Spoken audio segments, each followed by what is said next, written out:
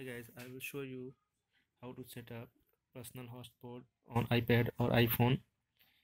If you don't find personal hotspot option here, then I will show you how to configure it. Go to the mobile data and then mobile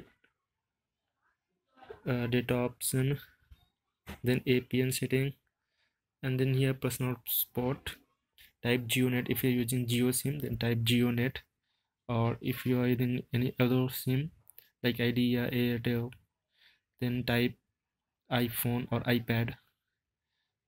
And then go back go back and on mobile data and you will see personal hotspot.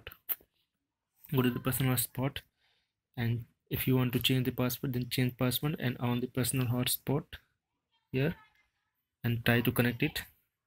You will be able to connect using the Wi-Fi. Okay. The common error is there contact your carrier something is like that.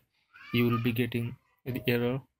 Once you configure you will not be getting any error and you will be successfully configure you will